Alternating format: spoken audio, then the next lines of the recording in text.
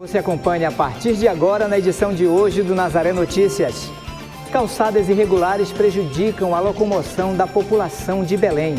Polícia Militar inicia projeto de prevenção a assaltos. 5 mil crianças e adolescentes esperam pela adoção no Pará. Conheça as causas e a prevenção da hepatite.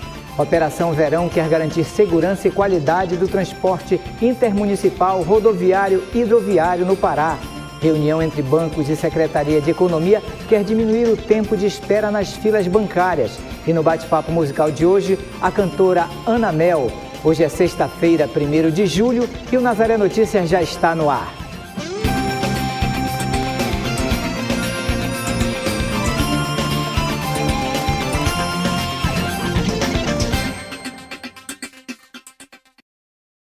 Começamos o Nazaré Notícias de hoje falando sobre acessibilidade. Entre os vários problemas que a cidade de Belém enfrenta, um está ligado diretamente ao nosso ir e vir, as calçadas. Elas são de responsabilidade do poder público, porém a sociedade é responsável por preservá-las. Algumas apresentam desníveis, outras são obstruídas por carros e estabelecimentos, o que gera insatisfação e prejuízos para muitos que circulam pela cidade. Belém tem um código de postura criado em dezembro de 1977 e defende a situação das calçadas em seus artigos 1 e 2 fala que as calçadas não podem ser obstruídas sob qualquer aspecto, nem com pequenas coisas, nem com grandes coisas, nem com, é, com degraus, nem com inclinações, nem com mesas, cadeiras, etc. Tudo isso tem uma regra específica para isso. Porém, na prática, observamos algumas calçadas tortuosas com desnível, além de estarem obstruídas por carros e às vezes até por lixo. E isso incomoda a população. Ó, se a gente for ver aqui, essa parte aqui não tem, mas as outras tem.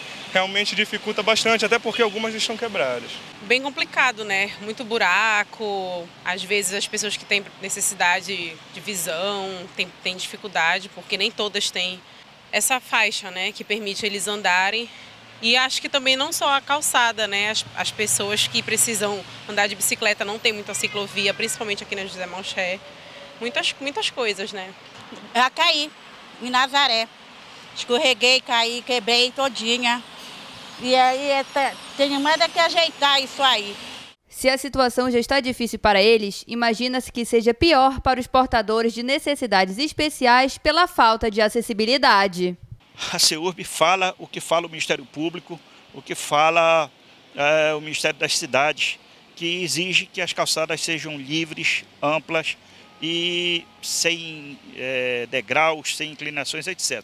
Entretanto, nós estamos num, país e, por extensão, num, num município que todo mundo acha que pode fazer o que quer. Não é verdade. Mas é difícil para o poder público fiscalizar tudo isso. O que nós precisamos, acima de tudo, ou precisaríamos que fosse assim, que tivesse uma conscientização maior por parte da população. A Secretaria Municipal de Urbanismo, em relação a essa infração do Código de Postura, notifica inúmeros proprietários diariamente. Uh, nossas equipes, no que pese a nós andarmos o dia todo na rua, punirmos o dia todo, nós fazemos uma média de 15, 20 notificações dia, só de irregularidade sobre as calçadas quando eu falo, eu falo Belém, Mosqueiro, Oteiro, eh, Quaraci, nós fazemos uma média de 20, 25, 30 notificações dia. Disso aí nós consertamos metade, vamos chamar assim. E o resto entra naqueles prazos de lei, 10 dias para tirar, eh, mais uma defesa, mais um CAP, mais o que que vai, e acaba postergando um pouco a retirada. Mas quando nós fazemos o, o, a notificação, os 10 dias de prazo normais de lei, e o cidadão não tira, não conserta, não regulariza, aí nós o fazemos na maneira coercitiva. Outra situação que também é comum de se encontrar são os estabelecimentos que se apropriam das calçadas para exercer seu trabalho. Porém, a lei de terraça é específica para bares e similares. O proprietário que se sentir prejudicado por obstrução nas calçadas pode fazer a denúncia na CEURB. A Secretaria trabalha de duas maneiras. Uma pela denúncia, denúncia através do telefone 30 39 3707, que é o telefone do Código de Posturas, que funciona todos os dias. Por ele nós atendemos as denúncias, nós damos um número de protocolo para que o denunciante cobre o nosso trabalho. Isso é uma maneira. A outra maneira é o levantamento fiscal. é aquela que o fiscal vai passando na rua e que alguém está fazendo alguma coisa errada, ele para e notifica. A prefeitura está só para corrigir, né? Na realidade, na realidade, quem tem o maior interesse pela cidade são os próprios moradores. Quem deveria zelar pela cidade, quem deveria zelar pela fachada da sua casa, pela sua calçada, seriam os próprios moradores. Eles não o fazem ou se fazem, fazem indevidamente, aí a prefeitura tem que chegar, às vezes, para orientar, e nós temos que entender que tem uma, uma parcela da população, embora pequena, que nos ajuda, que colabora, que prepara a sua calçada, que ajeita, que vai a CEURB, que, sabe, faz tudo certinho. Tem muitas pessoas, mas é uma minoria, infelizmente. E essa minoria, ao fazer isso, é, se incomoda com os demais. E aí vem uma nova denúncia daqueles que fizeram a calçada bem feita, dentro dos padrões, mas querem ver os demais também corrigidos. Indígenas da etnia Juruna permanecem com a manifestação na rodovia Transamazônica em Altamira, no sudoeste do Pará, depois de pedido de recurso da Fundação Nacional do Índio contra a decisão judicial para a desocupação. A interdição completa quatro dias nesta sexta e eles reivindicam as obras de compensação nas aldeias pela Norte Energia, responsável pelas obras de Belo Monte. Os manifestantes só autorizam a passagem de carros particulares pela rodovia. A Justiça Federal concedeu na última quarta-feira liminar à empresa que ingressou com uma ação pedindo a desocupação da via. Um dos assuntos que estão preocupando a população nos últimos dias são os assaltos e a frequência em que estão acontecendo na região metropolitana de Belém.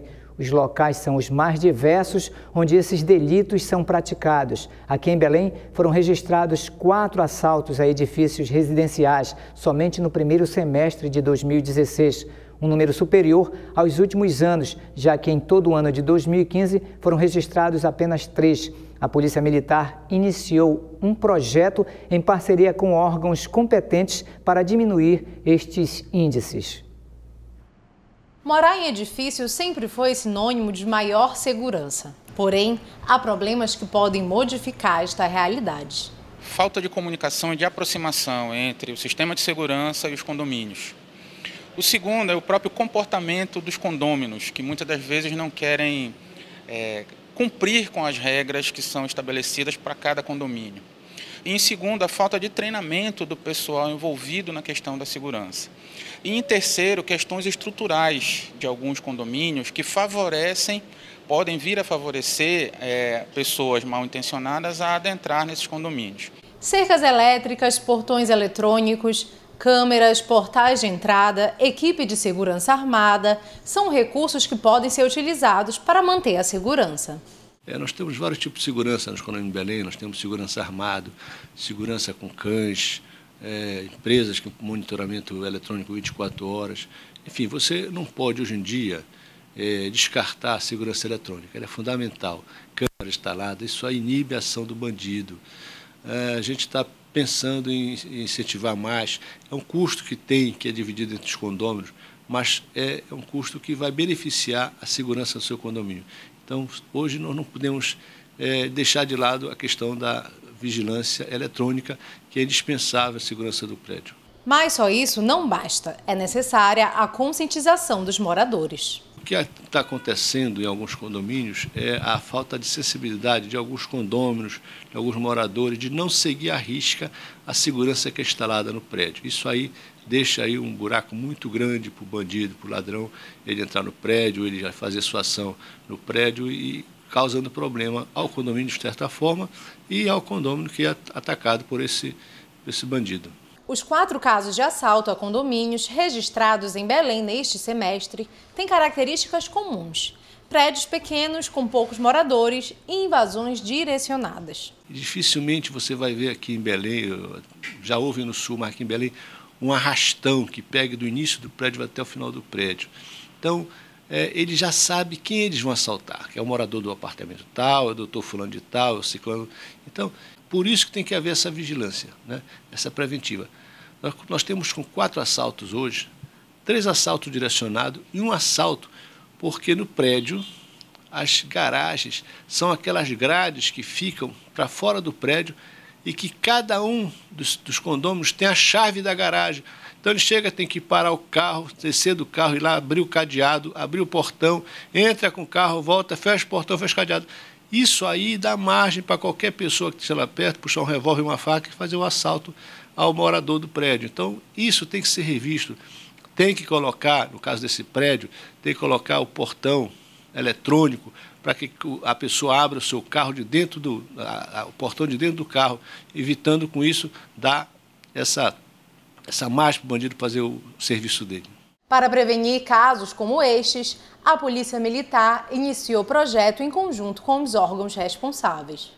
Todos os atores envolvidos no processo foram convidados a participar, o Sindicato dos Condomínios, o, o Conselho Regional de Arquitetura e Engenharia e Arquitetura, e pessoas, é, síndicos, que estarão, junto com a Polícia Militar, discutindo encaminhando ações de caráter é, de comportamento, de, de comportamento da, das pessoas, de, desses condomínios, e também questões estruturais, e até mesmo de, é, de aproximação maior desse sistema, no sentido de que, mesmo que com as medidas de prevenção que estão sendo discutidas, o crime venha a acontecer, haja uma agilidade no atendimento e na, e na, e na chegada da polícia nesses locais. É necessário que os condomínios invistam em equipamentos de segurança e orientações aos condôminos, um trabalho que deve ser de prevenção. Na verdade, essas regras elas têm que estar adaptadas à rotina de cada condomínio e a constituição física de cada um deles. Alguns possibilitam, por exemplo, as chamadas, é, as chamadas os portais de entrada, em que alguém entra, faz o contato com o porteiro, ele abre um primeiro portão, confirma a identificação dessa pessoa e depois ele vai abrir um segundo portão. Outros condomínios não têm isso, então é preciso desenvolver uma forma de melhorar e de identificar melhor essas pessoas. A outra é a questão dos, dos deliveries, dos entregadores, que às vezes também não tem uma regra a cumprir. E pode ser uma porta de entrada fácil. A outra, muitas das vezes, é até a questão da, do treinamento da, da, dos porteiros, das pessoas que trabalham nesses condomínios, e que é, deixa, deixa a desejar e acaba se tornando uma forma de, é, de atuação. O crime ele é um triângulo, vamos imaginar um triângulo, em que eu tenho a vítima, o agressor e uma oportunidade. Então a polícia, logicamente, pode agir nas três, mas se você conseguir agir em uma delas e retirar um desses componentes, fatalmente o crime não vai acontecer. O morador é uma das figuras mais importantes para manter a segurança do prédio. Se o condomínio não investir, ele não vai ter uma segurança para os seus moradores. Né? E não há dinheiro nenhum que pague uma vida que vai ser, vai ser ceifada num assalto desse. Por isso, é necessário cuidados como uso de olho mágico na porta do apartamento, não guardar objetos de valores altos ou grandes quantias de dinheiro em casa, não informar estranhos sobre hábitos dos moradores, ser criterioso na autorização da entrada de prestadores de serviço ou entregadores, ao chegar e sair da garagem, observar se há pessoas estranhas em volta e só entrar quando se sentir seguro. E agora vamos falar de um acidente grave os desligamentos de energia. Com as férias do mês de julho, aumenta os casos de acidentes envolvendo linhas com cerol. Em 40 dias, Santarém registrou mais de 200 desligamentos. De acordo com o um levantamento feito pela CELPA Equatorial, foram 238 desligamentos de energia causados por conta das pipas em Santarém. Isso somente em 40 dias. Estes dados deixam a cidade no segundo lugar no ranking de maior incidência, ficando atrás somente da região metropolitana de Belém. Para evitar qualquer tipo de acidente, o órgão orienta que as pessoas empinem a pipa em campos abertos e longe da fiação elétrica. Também não é recomendado o uso de linhas de cerol. Em todo o estado paraense já foram registrados mais de 12 mil casos de desligamentos desde o começo do ano. Não há punição para quem for flagrado com linha encerada, mas nestes casos são realizadas apreensões do material. E vamos falar de adoção. No Brasil existem mais de 5 mil crianças e adolescentes esperando pela oportunidade da convivência familiar. No Pará, 68 estão cadastradas e mais de 800 estão em abrigos à espera de uma família. Vamos saber nesta reportagem como funciona o sistema de adoção aqui no estado do Pará. A adoção é o ato legal perante a justiça, pela qual famílias estabelecem um estado de filiação e paternidade com crianças ou adolescentes que estão na fila de espera. Isso foi o que fez a família de Dona Benecilda, que adotou o Daniel quando ele ainda era recém-nascido a gente já vinha pensando, eu não podia ter, eu não podia ter filhos não, eu, realmente eu nunca nunca tive essa preocupação de ter filhos. A minha preocupação era muito estudar, e o marido viajava, e a gente ficava e depois já comecei a trabalhar e não foquei muito em filhos. E de repente começou a surgir aquela ideia, vamos adotar um neném. E aí de repente, trabalhando uma colega ela disse: Olha, eu, a, a moça que trabalha lá em casa, ela está grávida, mas ela não vai poder criar o neném. E aí tu, tu, tem toda a condição, fica com o neném dela, ela não tem condição. E eu peguei realmente, eu, isso já foi numa quinta-feira, ela ia ter neném, realmente já estava planejado mais ou menos para o final de semana, final de setembro. E eu disse, tá bom, vou pensar, vou falar com Aí falei com o Frazão, ele disse, olha, é bom, bora ver, é uma, é, uma, é uma coisa nova. A gente não tem experiência, mas vamos fazer isso juntos. E ele disse, não, a gente vai dar o básico que ele vai ter. Mas aí foi uma coisa legal, aí fui dar banho no Daniel, o Daniel morria de fome, chorava, chorava, realmente foi muito faminto. O Daniel era grande, nasceu com mais de 50 centímetros, então era bem grandinho mesmo o Daniel. E foi uma coisa legal. E aí minha família aceitou numa boa, sabe? Todo mundo deu apoio, aí todo mundo tinha que dar um presentinho, porque foi uma coisa rápida, realmente não tinha praticamente nada, mas foi gostoso. O processo de adoção pode demorar até um ano, devido aos trâmites legais e o estágio de adaptação. O adotando deve ser no mínimo 16 anos de diferença do adotado, e quem deseja seguir com o processo deve seguir alguns passos. Pode ser tanto casal, então qualquer pessoa acima de 18 anos que, independente do estado civil, que queira se habilitar ao processo de adoção, pode se dirigir até uma vara da infância e juventude mais próxima da sua residência, procurando a equipe multidisciplinar, a equipe psicossocial, para obter informações, tem que apresentar a documentação, cópia da RG, do CPF, é, comprovante de renda, atestado de idoneidade né, física, de idoneidade moral e também o atestado de sanidade física e mental, comprovante de residência. E a partir desse procedimento, a equipe vai acompanhar para serem declarado apto, declarados aptos depois, ao, a, como pretendentes à adoção. Eles vão indicar também o perfil daquela criança ou adolescente que pretendem adotar. E a vara faz um acompanhamento. A adoção dá a oportunidade de muitas crianças e adolescentes terem uma família. E quem passou por essa experiência garante que o sentimento é de gratidão. Foi gostoso, entendeu? Gostoso. E aí eu disse que eu sempre, eu ia contar para o Daniel desde cedo, ele não ia esconder que o Daniel tinha sido adotado, não tinha motivo para esconder nenhum. Tá? E foi assim. Ele vem sempre acrescentar, sempre ele vem somar. Tá? Ele vem somar junto com a gente. São é, é, carinho, é amor que a gente tem, a gente quer dar mesmo, a gente sabe, não interessa se ele é filho biológico, não interessa se ele é filho, se ele veio de outra mulher, se pariu.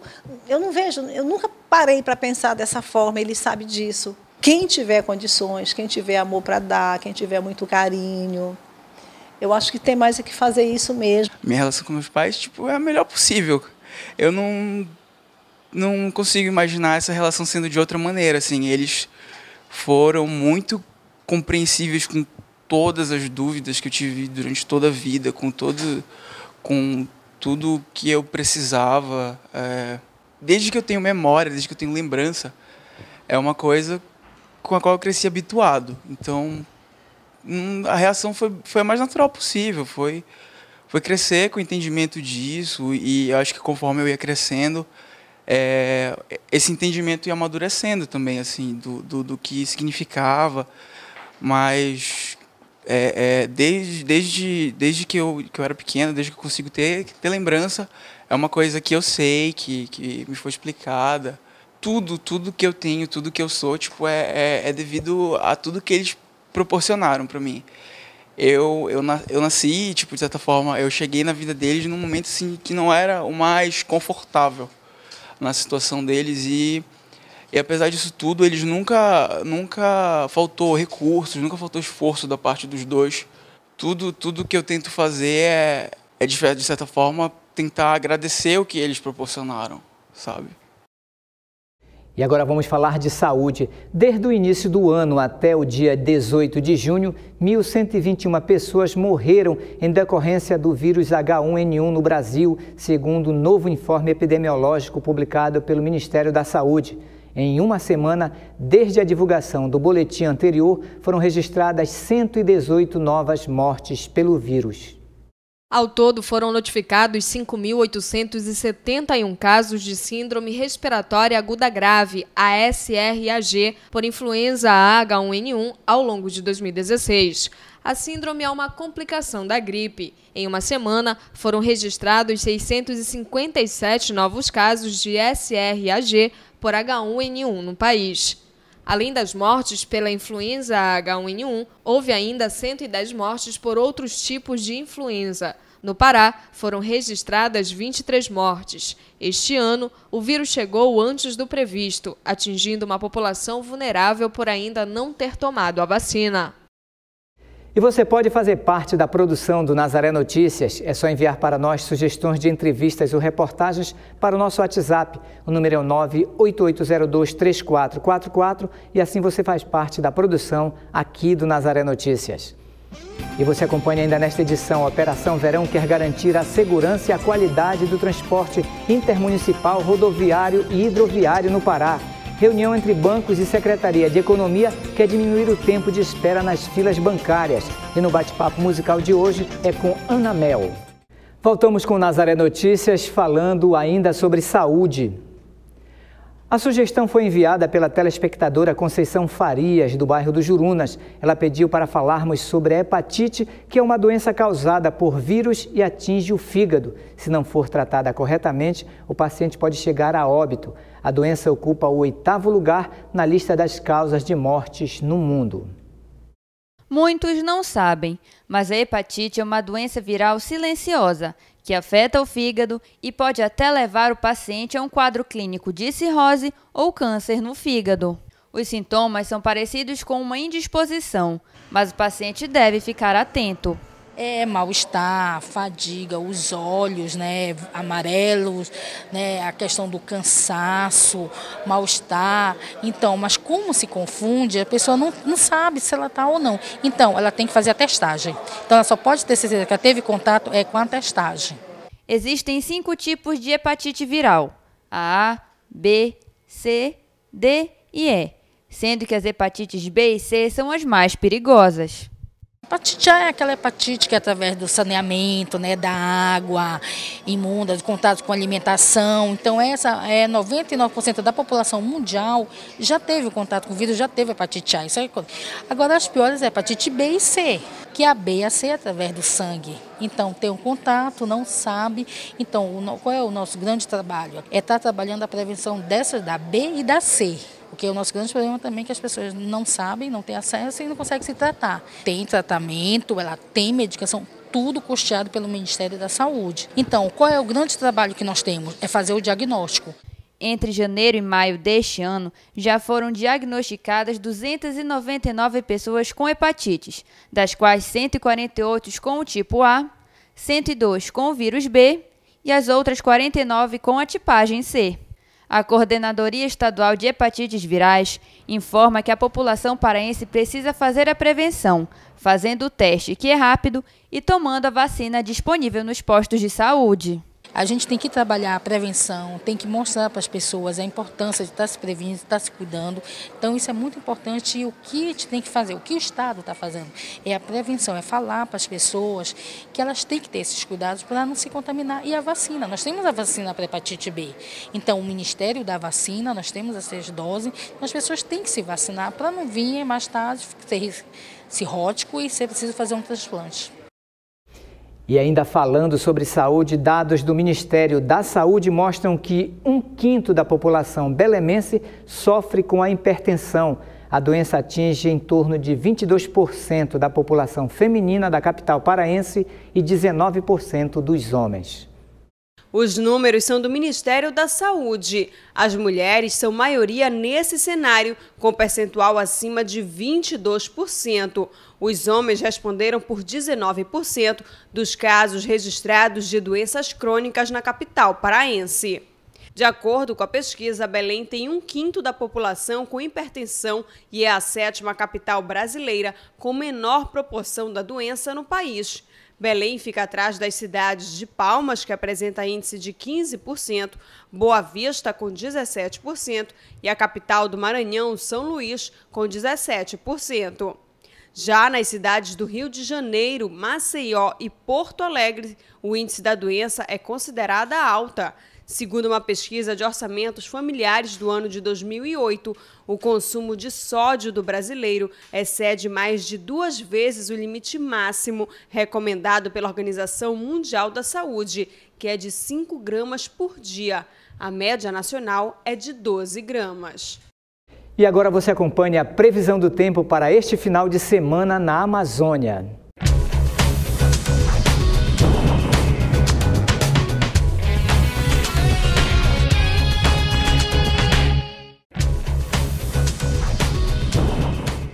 Em Salinópolis, no nordeste do Pará, o primeiro final de semana das férias escolares será de tempo encoberto, com possibilidade de chuva passageira. A temperatura ficará em torno de 24 e 31 graus. Em Abaetetuba, também no nordeste do Pará, os dias serão parcialmente nublados, sem previsão de chuva forte. A temperatura mínima será de 24 e a máxima pode chegar a 31 graus. E na capital do Maranhão, São Luís, o final de semana será de muito sol, não havendo previsões de chuva. A temperatura mínima fica em 24 e a máxima 32 graus.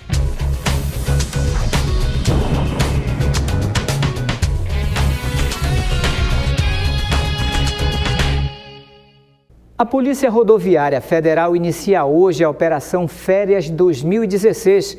Mayra Leal tem mais informações.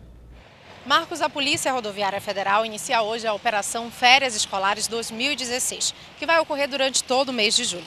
Eu estou aqui com a inspetora Marisol Mota, que vai nos falar um pouco como é que vai ser essa operação. A operação inicia hoje, né? Vai até que dia e quais são as principais ações da polícia? É, a operação inicia às 0 horas de hoje até o dia 30 e nós vamos trabalhar integradamente com órgãos municipais de trânsito do município e do estado, no caso Polícia Militar, através da Polícia Federal, eh, Estadual, é, CEMOB, CEMUTRAN, DIRETRAN, é, DETRAN. Então essa integração é muito importante, até porque nós estamos vendo principalmente a fluidez dos primeiros 25 quilômetros da BR, porque é uma característica que nós temos que é a única entrada e saída de uma grande capital onde a frota de veículos cresce vertiginosamente e há anos não há obras viárias que proporcionem a mobilidade urbana. Então, na verdade, é um esforço humano integrado entre as forças municipais, estaduais e a federal para tentar suprir essa falta de infraestrutura. Então são, trechos realmente que nós detectamos estratégicos, onde há vários tipos de acidentes, onde são bastante é, movimentados, Trevo de Mosqueiro, Santa Maria, Salinas, que é o percurso mais procurado. Então realmente é um trabalho integrado muito importante com o município e com o Estado e que veio só somar a essa operação da Polícia Rodoviária Federal. Inspetora, quais são as orientações que a Polícia Rodoviária Federal dá para quem vai pegar a estrada? A primeira recomendação é consciência. A conscientização da sua responsabilidade atrás do volante. Porque as demais recomendações, todo condutor que tem uma habilitação sabe de qual é salteado, mas parece que não está usando isso atrás do volante. Lembrar que aquele carro se transforma numa arma contra ele mesmo e a sua própria família, se ele não souber cuidar com responsabilidade. É lembrar que o volante não é só não, não beber e não dirigir, é para não falar no celular. E agora é o WhatsApp, a pessoa baixa a cabeça para fazer avançar a mensagem. Isso causa muito acidente. E agora no mês de julho também vai entrar uma nova lei, né, que é o uso de faróis é, baixos durante o dia. Como é que vai funcionar? Qual a importância dessa lei? E como é que é a multa, a fiscalização em cima disso? É, comprovadamente, é, foi constatado que o uso de faróis baixos durante o dia evita acidentes. Então, tudo que vem para ajudar a evitar acidentes, salvar vidas, é muito bem-vindo. Até tem pessoas preocupadas, ah, mais algo que criaram para criar multa. Não, é mais algo que criaram para salvar vidas. Eu acho que a vida não tem, é um valor, não tem valor, é imensurável. Então é uma lei que foi muito bem-vinda, é, porque realmente chama a atenção do outro motorista, chama a atenção do pedestre para atravessar, isso de dia. Então a partir do dia 8 é obrigatório.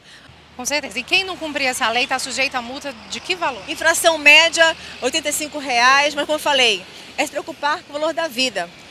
E isso que nos preocupa mais. Nós temos constatado que os motoristas só procuram fazer o certo quando há vista uma fiscalização. Só se preocupa com o valor do bolso e não com o valor da vida. E é isso que causa acidente. Tem gente que puxa o cinto de segurança aqui na frente, ah, vê a barreira, aí puxa o cinto, aí depois tira. É isso que faz a vida dele lá na frente? Então é realmente uma coisa que nos preocupa bastante. Por que se eu querer fazer o certo? Por causa do valor da multa. A vida não, não volta, não tem preço. Então pense nisso, não o valor da multa.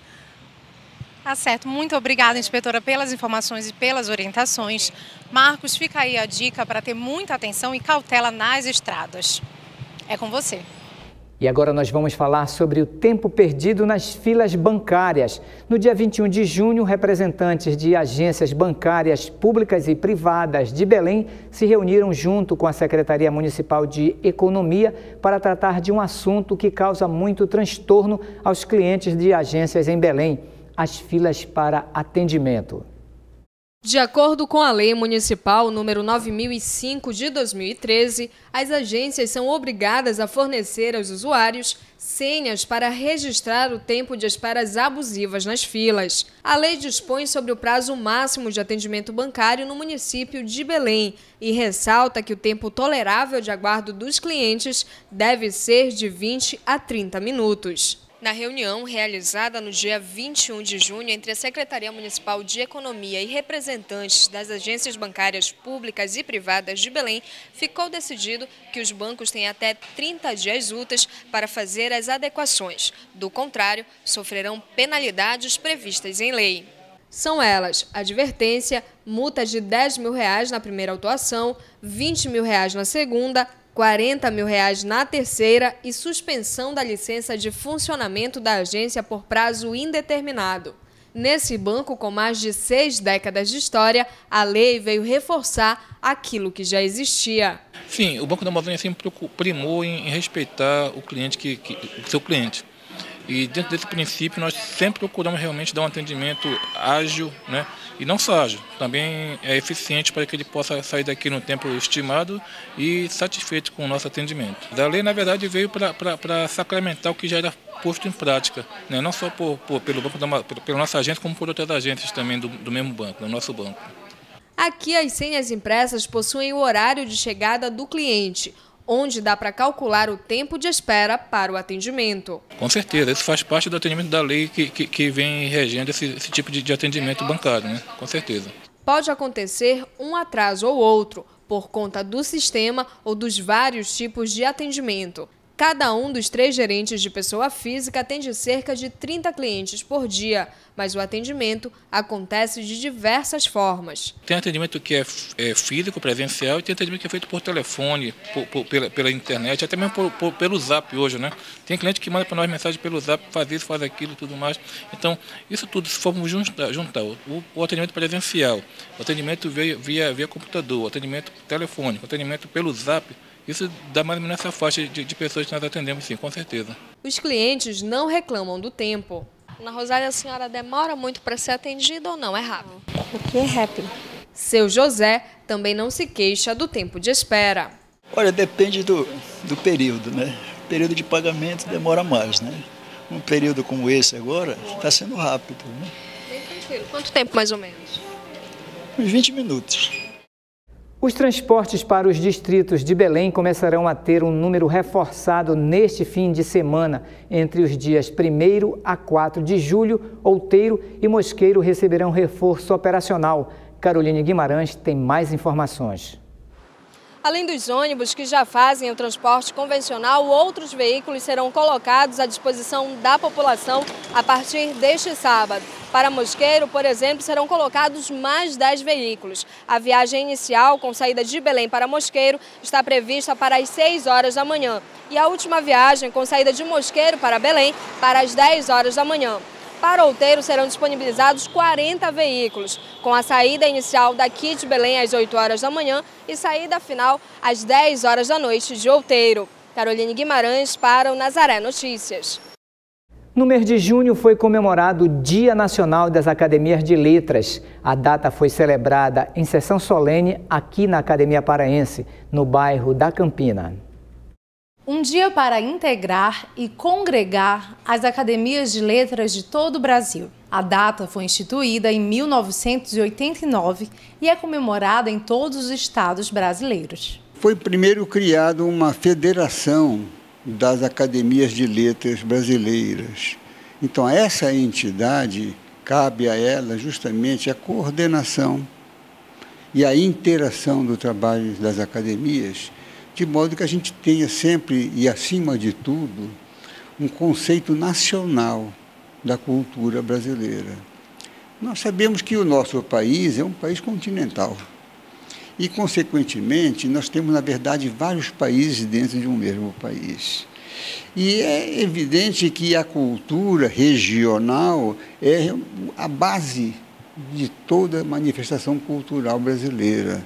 Então, essa federação de, de academias de letras se tornou realmente um órgão muito importante muito embora não seja, digamos, um órgão tão ativo, mas ele tem essa responsabilidade muito grande de reunir as culturas, as várias culturas que existem dentro do país, e com isso dar essa característica, essa formatação da, da, da cultura brasileira. Na Academia Paraense de Letras, os imortais e representantes das academias dos municípios do estado estarão reunidos nesta noite para homenagear e celebrar a associação. O orador será o acadêmico Zeno Veloso, que já ocupa o lugar há 10 anos. É uma grande honra, é um privilégio. A gente vira chamado imortal. Infelizmente, a gente morre. Não sei nem se infelizmente, que acho que morrer faz parte de viver. Mas, teoricamente, nós somos imortais, o nome fica consagrado como figura da, da, da arte, da cultura do Estado. A academia é algo que deve ser vivo, participante, não, não morta, amorfa como se fosse um depósito de livros velhos ah, para o deleite e alegria das traças e das baratas. Ao contrário, deve ser um arquivo vivo da inteligência, da cultura, da arte eh, do Estado. E participar da vida cultural do Estado. Ela não deve também ficar ausente, ter uma sede ali e quase que só frequentada por fantasmas. Ao contrário, ela deve ser frequentada por jovens e velhos, porque velho também merece todo o nosso apreço. Eu, inclusive, sou uma pessoa idosa e velhos e novos lá, lutando pelo prol, pelo engrandecimento do Estado, pelo desenvolvimento cultural e intelectual da nossa terra. É o papel da academia. A Academia Paraense de Letras tem 116 anos de história. É a terceira mais antiga do Brasil. Foi aqui que foi criado o Dia Nacional das Academias de Letras do Brasil. Você tem uma ideia da proximidade que nós temos de todo esse fenômeno? é que foi justamente o nosso ex-presidente Ilmo Moreira, na sua gestão, é que propôs a criação do Dia das Academias de Letras Brasileiras. Então, foi através justamente do presidente da Academia Paraense de Letras que foi possível, então, se estabelecer que dia 21 de junho é o dia em que se festejam todas as academias nacionais. Além de integrar e imortalizar as personalidades, as academias de letras têm outro desafio, o de se renovar cada vez mais. Que no Dia Nacional não se olhe para trás, mas que se projete a função dessa academia de letras paraense, claro, com base no legado que ela tem, que é um legado importantíssimo, das mais nobres e eminentes figuras da intelectualidade paraense. Hoje acontece a primeira viagem experimental do ônibus articulado, o BRT. Caroline Guimarães tem mais informações. O período experimental está dividido em duas etapas. A primeira delas já começa neste sábado, dia 2, e tem duração de 15 dias, onde os ônibus articulados do BRT sairão do terminal de integração até a estação Antônio Baena de forma completamente gratuita todos os dias, incluindo os finais de semana, no período de 9 às 16 horas. Na segunda fase, os ônibus articulados do BRT se somarão às linhas convencionais, dando mais uma opção ao usuário do transporte coletivo, que poderá optar pelas linhas convencionais, pelos ônibus articulados ou mesmo pela via expressa do BRT, pagando uma tarifa única de R$ 2,70. Caroline Guimarães para o Nazaré Notícias. A presidente afastada Dilma Rousseff recebeu ontem o título de cidadã paraense e a comenda Mérito Cabanagem, concedida pela Assembleia Legislativa do Pará durante um ato público realizado na Praça Floriano Peixoto. A estimativa da Polícia Militar do Pará é que 3 mil pessoas participaram do ato. E agora você acompanha a agenda cultural para este final de semana. E na primeira dica da agenda cultural de hoje temos a contação de história por Joana Chagas, Lília Tícia e Sônia Situba. É a história de cantigas que serão contadas neste sábado a partir das 11 da manhã no Sesc Boulevard com entrada franca. A cantora Nazaré Pereira está de volta a Belém com seu mais novo CD. A cantora amazônica se apresenta neste sábado no Espaço Cultural Apoena. O show acontece às 10 da noite e ainda conta com a participação de Natália Matos e Pedrinho Calado. E neste domingo terminam as atrações da quadra junina com o último dia do Arraial do Pavulagem 2016. O Arrastão reúne há 30 anos pessoas de todas as idades para brincar com o boi bumbá e celebrar a cultura paraense. A concentração acontece às 9 da manhã, em frente à escadinha da Estação das Docas. Sexta-feira é dia de bate-papo musical e o de hoje é com uma intérprete paraense que fez do seu primeiro CD uma homenagem para Belém. Ana Mel conversou com a repórter Caroline Guimarães. O nosso bate-papo musical desta sexta-feira está no ritmo ainda das comemorações dos 400 anos da cidade de Belém, na belíssima voz de Ana Mel, que está aqui ao meu lado, a nossa companhia desta sexta-feira. Muito obrigada por conversar conosco. Ana Mel, esse ano você completa 25 anos de carreira, oficialmente. Na realidade, Carolina, eu já completei 25 anos no ano passado e nós estamos divulgando esse meu trabalho, essa minha trajetória musical né, que a gente vem trabalhando, é, proporcionando a Belém é, e valorizando os artistas, com canções de grandes compositores como Márcio Montoril, Deise Puget, Pedrinho Cavalero, a Lídia Maria, enfim, né, e está retratando no meu CD Cheiro do Pará. Esse que é o seu primeiro trabalho e você traz canções belíssimas de, de cantores, de autores da terra e de, de algumas pessoas aqui que tem grande renome, né? Como você mesmo falou, o Márcio Montori, o Alcir Guimarães está aqui também. Com certeza, para nós foi uma grande alegria contar com essa parceria desses grandes intérpretes, grandes compositores como Pedrinho Cavalero, é, Márcio Montoril, Lídia Maria, Deise Puget, enfim. Eu estou muito feliz de ter participado, de estar participando e contribuindo com a nossa cultura do Pará, com esse CD. Escondida no meio das folhas de mangueiras e açaizais beleza tão serena encanta todos os mortais. E aonde quer que eu esteja, pra te quero logo voltar. E aonde quer que eu esteja, pra te quero logo voltar. Agora nós falamos de 25 anos de carreira e ao longo dessa trajetória você tem profissionais que lhe acompanham também, que fazem parte né, desse, dessa carreira toda. Com certeza, eu não poderia deixar de falar do meu, meu grande companheiro e meu esposo, Roberto Magalhães, meu percussionista, que está acompanhando aqui essas canções, e o meu grande amigo, meu irmão espiritual, Pedro Dias, que vem lá do Piripiri, que já tem mais de 30 anos nessa caminhada, né? Que só na minha trajetória musical são 25 anos que ele vem acompanhando a gente no violão e fazendo esses arranjos maravilhosos. E também uma outra pessoa que eu, que eu tenho uma grande, muito, uma gratidão, é um grande músico, Betinho Tainara, ele e o Ziza Padilha que fizeram esses arranjos maravilhosos no meu CD Cheiro do Pará. E eu fico muito feliz com essa, com essa realização.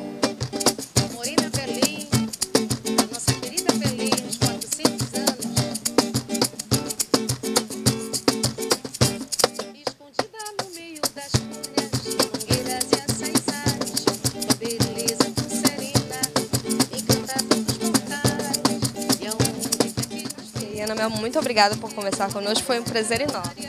Eu que agradeço essa oportunidade da Fundação Nazaré e que divulgue, que dá esse espaço maravilhoso para os nossos artistas, que vem sempre contribuindo com essa gama de, de artistas paraenses, com as nossas lindas canções. Parabéns, Belém. Parabéns, Fundação Nazaré. Nós é que agradecemos começar o nosso final de semana com essas grandes vozes. E se você é de casa, assim como eu, gostou desse bate-papo e também das matérias exibidas aqui hoje no Nazaré Notícias, pode acessar o nosso site que é www.fundaçãonazaré.com.br ou então a nossa página no Facebook. Tenham todos um excelente final de semana e até segunda-feira.